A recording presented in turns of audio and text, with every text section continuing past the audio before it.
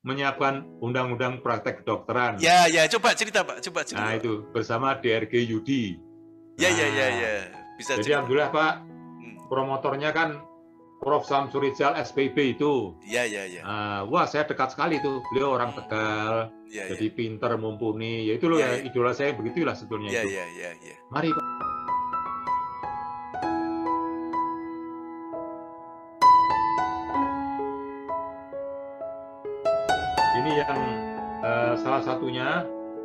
Mengantar pasien postpartum. Hmm. Jadi retensio plasenta setelah keluar itu darahnya tinggal dua HB-nya itu. Waduh. Nah, itu kan ibu muda transmigran, Hmm. masih punya anak kecil. Jadi Iya, kesimpulan saya ya sudahlah. Entah bagaimana caranya kalau transmigran kan dibantu kantor dinas transmigrasi. Ya, ya, ya. Saya putuskan malam itu berangkat. Kebetulan mobilnya masih baru, Pak. Hmm. Tapi kejadiannya Ya, pas ya. lewat tengah hutan jam 2 pagi, mobilnya mogok-mogok itu. Oh. Wah, itu anu sekali, Pak itu. Mengharukan sekali kalau lewat Kuala kan ada jembatan, Pak, banjir. Hmm. Ditarik pakai tali rotan itu, orang-orang kampung itu. Hmm. Ayo bantu dokter, ini ada orang sakit ini. Terus itu. Jadi berangkatnya sore, sampainya jam 2 siang itu. Waduh. Ya, selamat. Tahu kerusakannya apa kira-kira? Apa? Si sopir juga bingung. Apa? Jadi ada kabel keluar dari aki itu agak putus di dalamnya. Oh.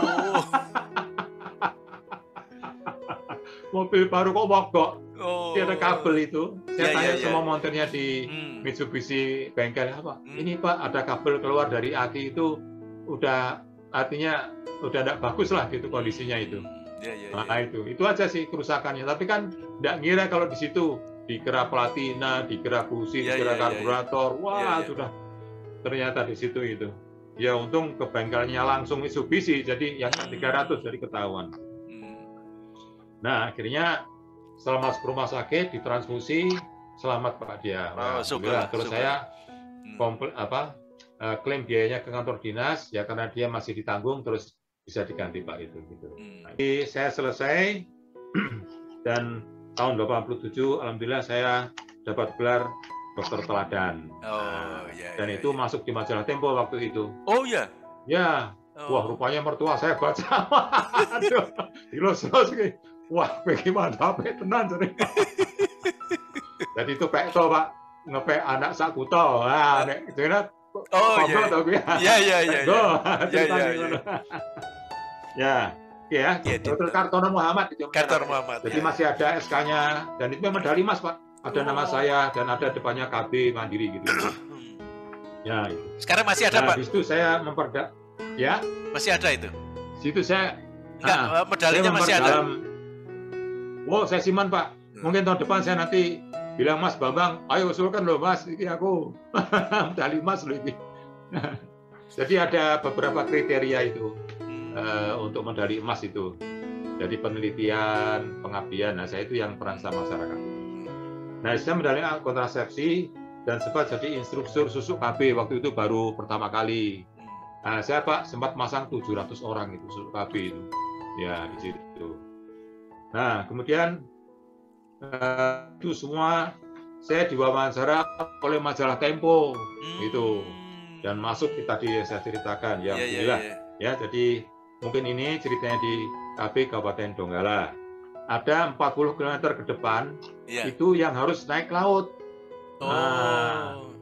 jadi satu hari ya biasa-biasa sih naik speedboat ke sana sama kepala dinas sama wakilnya saya dan ini ada lima orang sama juru mudinya itu Iya, iya, iya. pada waktu kembali Pak di tengah laut itu apa namanya bensinnya lambat diisi Oh. tahu kejadiannya macet Apa? Pak Macet. Iya, jadi begitu diisi mungkin yang kesedot kan bensin kotor. Iya, iya, iya. Wah, ada sejam Pak itu. Wah, nggak ada dayung, nggak ada ciduk. Bocor Terapung. Pak itu. Oh. Buyai. Waduh, itu pantai sudah jauh kampul-kampul. Wah, lah ini saya bilangin cerita baru ini. Di situlah baca kol hu Allahu ahad. Waduh. Kusuk. Berdoanya kusuk banget, Pak. Kusuk dalam hati. Kayak tenang tapi gelisahnya luar biasa itu. Wah, ini tanda-tanda mungkin yang kedua ini. Dulu pesawat sekarang di laut ini. tapi kok dilalah ya hidup gitu loh. Wah, Waduh, ya sudahlah. Selamat dan berhentinya di depan puskesmas itu. Hmm. Alhamdulillah itu. Iya. Saya diminta membantu lomba desa. Waktu itu kan ada Pak mungkin tahu ya di TV Iya, ya. iya. Iya, iya. Lomba desa itu. Nah, itu itu sempat tiga kali desa saya itu, Pak. Saya bantu itu bikin programnya segala macam tiga kali. Menang, Nah, kemudian saya sempat juga jadi bagaimana? menang. Perlombaannya menang atau ya, kalah? tiga kali Pak menang tingkat provinsi Oh. itu. Ya, Waduh, menang ya, tingkat ya, provinsi tiga kali. Dan itu ditayangkan di TV itu. Wah, Ya, ya. Pak camatnya senang banget itu. Wah, luar biasa Pak dokter ini. Ngobati orang, ngobati desa juga bisa. katanya. Salah satu muridnya Pak, anaknya transmigran gagal, Hmm. saya suruh tinggal di rumah. Oh, Nah, terus lulus, saya pas ke Palu, saya sekolahkan jadi perawat dia di sana. hmm. Nah, nasib baik, lulus jadi pegawai negeri, PNS ditaruh di puskesmas gitu Iya, loh. iya, iya, iya. Nah, akhirnya setelah saya datang lagi di situ, yang dipanggil dokter si Budi itu bukan saya. Lebih, lebih, lebih gagah dok Ya. Budi. Dan dia nasib baik waktu dia ditarik ke rumah sakit kabupaten, Hmm. direkturnya masih saudara saya. Oh. Dia disekolahkan ke Bandung ke anu Penata Rongsen. Oh. Ya. Iya, iya, iya. iya. Nah, sekarang dia sudah paling senior di rumah sakit, Hmm. hidupnya sudah wah ya berlebihan lah gitu gitu. Iya, iya. iya. Jadi dia anaknya transmigran dari NTB. Oh, Ya, NTB. Jadi dia sukses, ya bapaknya ikut sukses lah gitu. Iya, iya, iya. Sering Pak, baru naik jembatan anu tanpa jembatan dari sungai itu, iya. sampai atas mobil itu guling. Terus masuk ke sungai. Enggak, sudah pas di atas itu. Oh, iya, iya. Nah, Oh, pas ya. jungkirnya ke ya ke samping jalan gitu. Oh. Jadi dia naik ke pinggiran terus masuk selokan. Iya, iya, iya. iya. Lah untung tangan saya sempat saya tarik kalau enggak kejatuhan bodi mobil gitu. Oh. Blak Iya, gitu ya, jatuh miring lah. Ya iya. miringnya cuma 45 derajat gitu. Hmm. Ya, syukurlah. Hmm. Nah, karena masih banyak lagi Pak sebetulnya itu. Nah, Iya, iya. banyak sekali itu ketemu rusa sebesar sapi. Betul Pak? Oh iya. Iya, Oh. cabangnya udah wah banyak sekali itu. Itu biangnya itu gitu. Ketemu eh, apa namanya? biawak sebesar paha manusia itu. Hmm. Wah, ketemu ikan anu sugili itu seperti lele Pak, ada telinganya Hmm. sebesar paha laki-laki dewasa itu. Waduh Pak, ular lagi. Wah, situlah. Babi rusa anoa gitu. Waduh, wah, sudahlah itu anak kolong jadi enggak takut.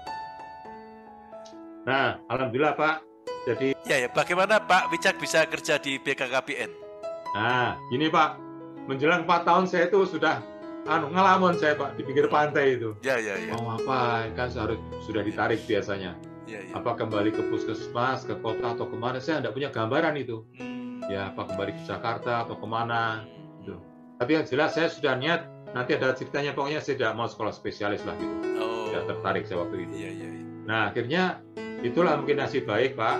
Jadi sore-sore itu ada mobil taksi berhenti di depan di depan puskesmas, Iya, iya. liwati jalan raya itu, jalan Ya. kampung lah gitu. Hmm. Dokter, ada titipan surat pribadi dari Palu. Wah, saya baca isinya apa? Dokter Wijak kalau bersedia dipromosikan jadi eselon 3 BKKBN Kabupaten. Waduh, tawarnya luar biasa. Langsung saya bilang, oke. Jadi jadi kepala BKKBN. Ya, tapi ya dimulai dari staf sebentar terus eselon 4 dulu, Pak. Oh, eselon 4 dulu. Ya, eselon 4 terus promosi begitu. Karena saya kan belum pernah eselon 4 gitu ya. Loh, di Puskesmas kan eselon 4. Ya, jadi eselon 4 dulu, Iya, jadi iya. kepala seksi, Iya, iya. tapi sudah disiapkan untuk jadi eh, ke eselon 3 gitulah gitu ceritanya itu. Nah, jadi itu eh, kisaran tahun 86 lah, 85 8, 86 kira-kira awal gitu. Ya, jadi SK-nya dari Pak Haryono Siono, itu juga orang yang saya kagumi itu. Iya, iya. Nah, jadi saya eh, di Puskesmas tadi enam tahun, kemudian di, di BKKBN itu enam tahun ya, jadi saya 10 tahun. Karena yang saya ganti itu Dr. Hadi Hartono mengambil studi kardiologi di Surabaya gitu waktu itu. Nah, apa yang berkesan? Oh ada Pak. Jadi yang saya berkesan itu setiap bulan saya itu didatangi pengawas PLKB dari 17 kecamatan itu Hmm. per bulan selama enam tahun Pak. Jadi saya rapat koordinasi itu pernah 60 kali itu. Ditanya Dokter Trihono waktu di eh, PSM Pak Wicak itu pernah enggak sih rapat koordinasi? Wah, lah saya ini 60 kali loh Pak. Ketawa dia. ya, jadi dengan kerjasama baik itu saya bisa ngatrol dari peserta yang 40% jadi 75% Pak Ibu waktu itu. Dibantu bidan-bidan kota lah gitu dan Iya, desa iya. itu. Nah yang kedua tadi kerjasama dengan PLKB, yang kedua adalah pembina pramuka sakang rencana. Ini. Hmm. Dan itu selalu dapat nomor Pak, setiap lomba-lomba provinsi itu dan nasional itu. Hmm. Dari situ saya dapat eh, penghargaan lencana eh, Pancawarsa namanya, lima tahun dari Kuarnas itu. Wah ini Mas Bambang Sarjono tahu persis itu apa eh, Panca Pancawarsa tadi itu. Hmm. Yang ketiga, saya itu perintis KB Mandiri waktu itu pertama Kota Palu itu. Hmm. Jadi dapat juga Jadi proyek kepala dari BKKBN-nya di mana itu, Pak? eh, di, di di Kota Palu. Oh, di Kota Palunya. Ya, jadi satu gitu. Donggala Kota Palu jadi satu gitu ceritanya. Oh. Kalau sekarang sudah dipisah. Iya, jadi iya, iya. Oh. Kabupaten di Pelabuhan Donggala, ini Kota itu jadi satu waktu itu. Hmm. Ya, situ saya anunya lah lebih optimisnya untuk eh, senang dikit gitu lah. Nah, merintis kemandiri ini di antaranya dapat proyek dari ID, ID 2507. Itu anu apa namanya eh, proyeknya Bank Dunia kalau tidak salah itu. Hmm. Nah, saya kerjakan, jadi bikin pos KB di di pasar, di kampung nelayan, di pinggiran kota sampai di pusat pembelajaran itu. Di samping juga praktek mandiri di tempat-tempat praktek dokter dan bidan. Nah ini Pak, luar biasanya ini Alhamdulillah saya dapat medali emas R. Wasito. Wah, Apa apa itu cerita coba? medali emas itu Pak. Iya, iya. Jadi Oh. karena saya bisa mengelola program dan sebagainya itu diusulkan dapat medali emas R. Wasito. Waktu itu kepalanya anu dokter siapa namanya? Yang pertama dulu itu eh, ketua ID ah lupa saya yang sudah meninggal itu. Oh. Yang Her- ah, Herman terkenal. Susilo, Herman Susilo. Oh bukan bukan. Yang terkenal banget itu. Yang punya adik penulis masih hidup itu. Oh, Eh, Gunawan Muhammad. ah kakaknya. Iya, iya, iya. Ah Siapa itu ya? si Muhammad. Siapa iya, namanya? Muhammad.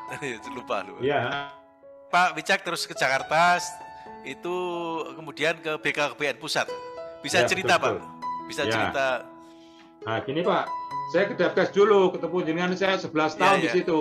Oh, 11 tahun Nah, ya?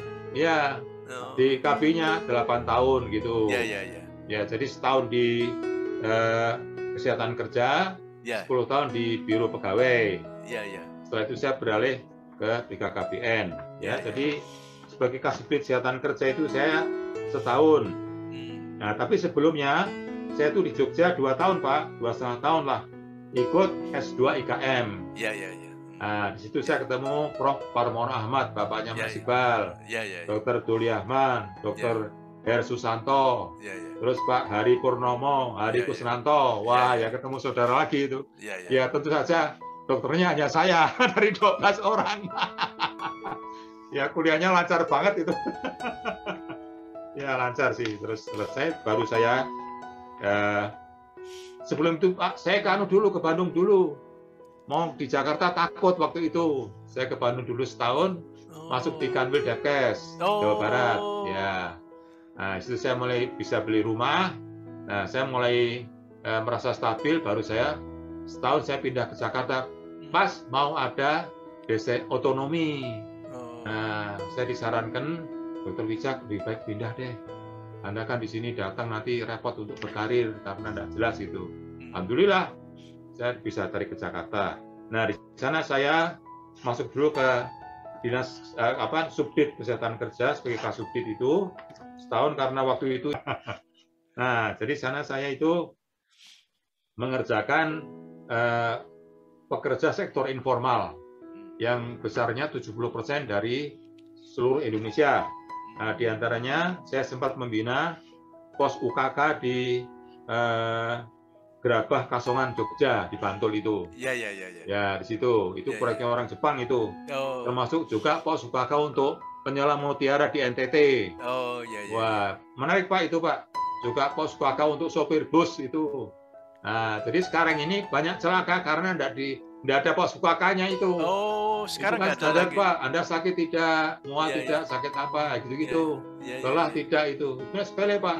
Tekanan darah tidak pernah diukur, gitu-gitu. Iya, Jadi sebetulnya ini jalan keluarnya itu untuk menghindari preventifnya itu. Itu ya Iya, iya. kakak itu Iya, sebetulnya. iya, iya, iya. Nah, Apa itu itu harus di- dokter? Itu apa harus dokter itu?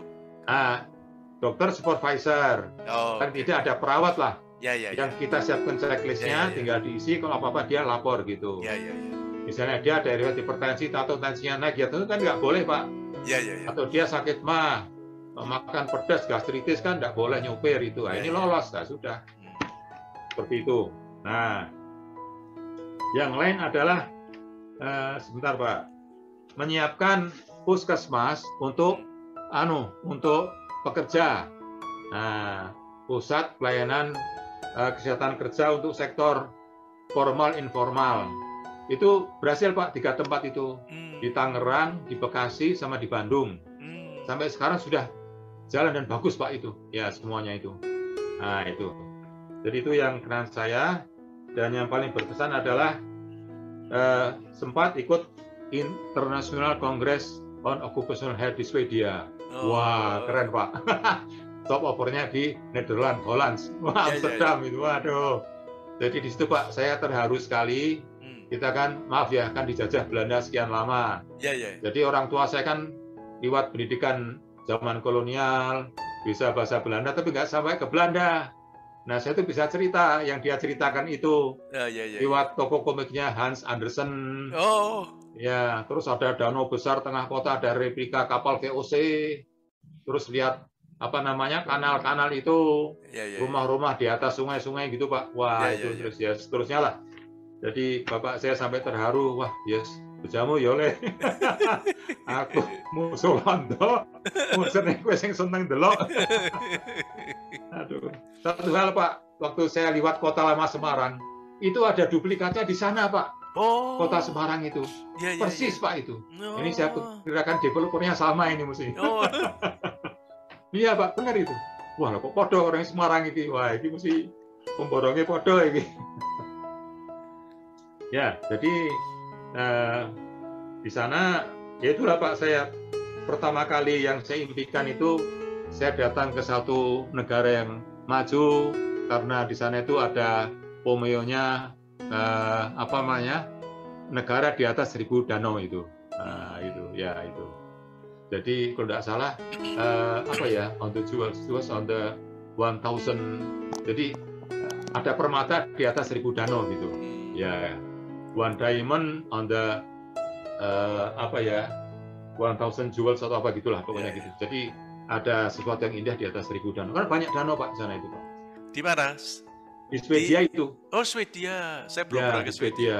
Nah, jadi dari Amsterdam saya ke Swedia di sana tiga hari itu Hmm. Wah, itulah saya baru lihat yang namanya eh, apa namanya on time itu loh. Hmm. Jadi kita mau naik eh, anu kereta api misalnya, Ya, ya. Tulisannya jam 11.03. Hmm. Jam 11 Pak, belum. Nanti jam 11 kurang 3 menit dari jauh kelihatan itu, set itu. Hmm. Waduh, luar biasa itu. Jadi betul-betul eh, sampai menitnya cocok itu di sana itu. Ya, tidak iya, ada ngaret satu menit pun itu. Ya, ya, ya. Oke, ya. Ya. Nah itu Pak, terus itu saya ingat dulu sama jenengan ketemu di Pusdiklat. Apa coba? Apa? Nyiapkan ujian pegawai. Mungkin Anda sudah lupa ya. Ya, ya. Saya ingat mobilnya, Rak, mobilnya biru itu yang Suzuki itu atau Isuzu Ya, itu. ya. sedan itu. Oh, Jadi ada itu saya lihat selalu membuka eh, kap mobil belakang, mengeluarkan sepatu olahraga. Benar toh? Ini yang aku Ya, jadi kenal saya pertama, terus rapat untuk menyiapkan seleksi pegawai baru, dan saya disuruh bikin soal-soal manajemennya, gitu. ya, kemudian yang berkesan juga Pak selama di Ropek itu, jadi menyelesaikan masalah pegawai yang sakit bisa sampai dua tahun tidak sembuh, ada yang hilang dalam tugas Pak, ada itu. Dokter spesialis baru naik uh, speedboat di Kalimantan nabrak balok terus hilang ada dan seterusnya lah juga yang indisipliner itu jadi ada 300 pegawai perawat itu Pak yang sering bolos di Jakarta itu Oh, Jadi makan gaji buta itu. Oh. Nah itu kan mana gitu loh. Jadi ada yang sudah ngajukan tidak diproses kita selamatkan, tapi yang terus indisipliner ya sudah kita mengundang badan kepegawaian tadi dirapatkan ya sudah yang memang tidak aktif lewat enam bulan setahun ya sudah terpaksa diberhentikan kan gitu.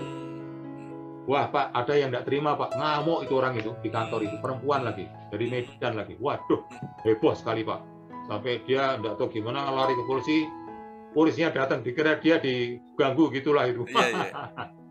ya seperti itu penangannya.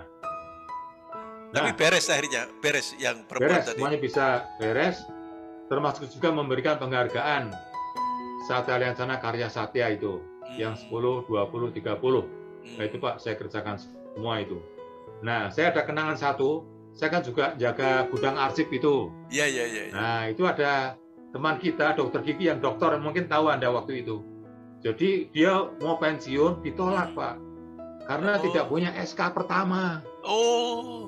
tidak punya SK-nya itu dia itu Jadi, wah udah, ya perempuan lah, marah setengah mati. Sudah gini aja, dok, ikut saya ke gudang, insya Allah masih ada berkas, ada kita cari nanti. Langsung Pak, saya kan penguasa itu waktu itu, kabar Iya, iya. itu. Iya, iya. Dicari ada Pak, Hmm. ketemu masih utuh itu Pak. Oh. Amplopnya yang tujuh amplop itu. Oh. Nah, Eh, Dia nggak terima gitu. nggak terima dari awal itu. Oh. Saya balik nanya, kamu kok bisa naik pangkat ini? Ketawa dia. Ayo bayar ya. Jadi ketemu Pak, Hmm. Asri 7 itu Pak. Hmm. Untuk ke BKN, terus ke kas negara Oh. itu ada semua masih utuh itu. Oh. Bu, ini saya serahkan pakai tanda terima, Ibu belum sempat ambil ini. Nah, gitu. Ya mungkin dia cuma terima fotokopinya mungkin lah gitu. Hmm, Iya, iya. Utuh iya. Pak itu. Iya, Wah, iya, itu iya. Pak di situ dia terima kasih sekali itu. Hmm.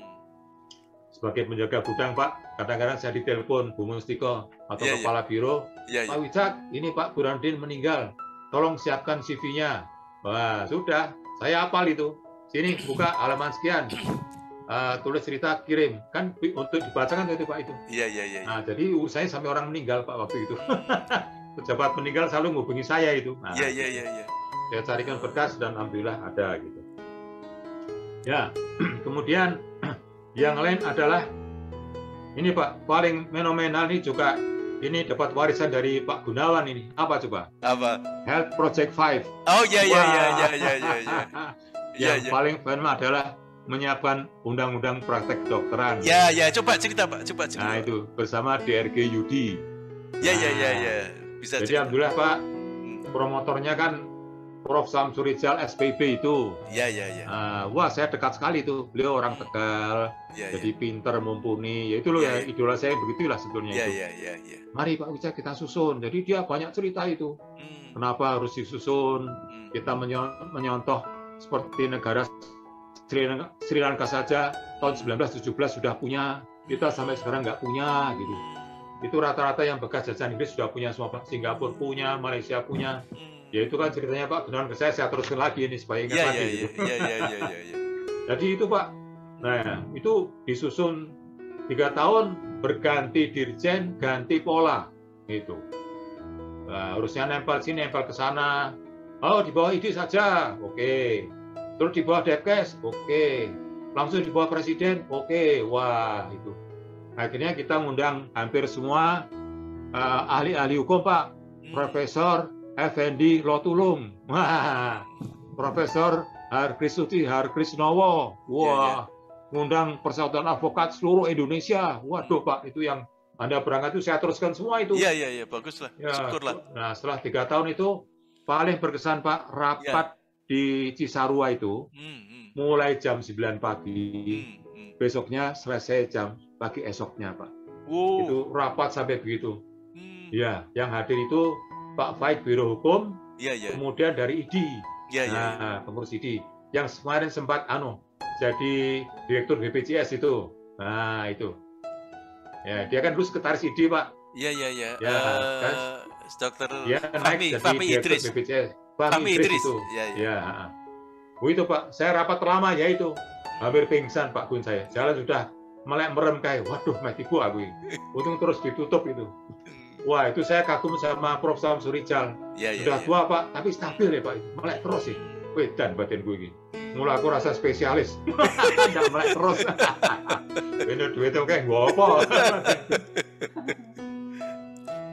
ya, jadi uh, tapi maaf Pak Pak Pak Pak Wicak, maaf di saya potong sebentar.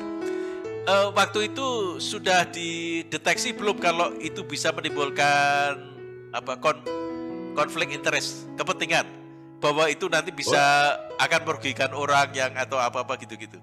Ya, jadi kalau pesannya Prof. Samsurijal hmm. itu untuk melindungi keduanya. Hmm. Ya dokter, ya pasien itu supaya ya, jelas ya. lah. Ya, ya. Nah, nanti pengadilannya pengadilan profesi ya, atau ya. pengadilan umum ad hoc itu, nah, ya, seperti ya, ya. itu. Hmm. Nah, tapi kita kan tidak mengenal pengadilan profesi. Ya, ya, ya. Jadi di pengadilan umum, nah tapi nanti hakimnya yang khusus yang menguasai begitu ceritanya itu. Ya, ya, ya. Nah, ini akhirnya setelah di DPR juga tiga tahun, hmm. nah ini blessing in disguise.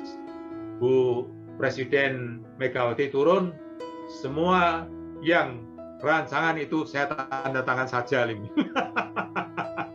Undang-undang perlindungan anak, tentang BPJS, tentang eh, apa namanya pradok itu. Iya iya. Jadi tiga pak lolos semua itu. Nah gitu. Iya iya.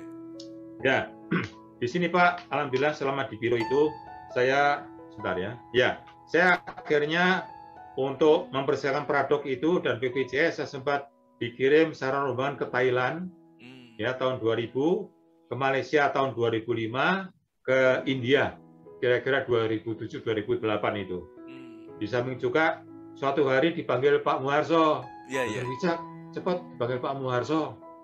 Nah, katanya mau ada tugas ini. Hmm. Tugas mana? Luar negeri sepertinya. Waduh, berbunga-bunga saya Pak Gun. Wah, gini Amerika kayak Pak Gun ini. Atau gini, uh, bisa mau pergi anu, mau tugas ke luar negeri. Mau Pak, belum belum sudah dijawab saya pikir mau ke mana gitu ya. Yeah. Mana? TKHI. mengawal, tapi yang spesifik Pak, itu mengawal Haji Plus rombongan Lemhanas. Oh. Mantan, mantan menteri, mantan iya, iya. jenderal, yeah, yeah. gubernur itu Pak itu. Wah, kamu saya spesifik itu. Jadi alhamdulillah malah dikasih uang 700 dolar waktu itu loh. Uang iya, sakunya, bayangin itu. Wes yeah, ora bayar kayak 700 dolar. Yang kono mau roaming gue coba bayar gitu. Dolar. Wah, ya sudahlah gitu ceritanya itu. Jadi alhamdulillah uh, berakhir dengan bahagia semua.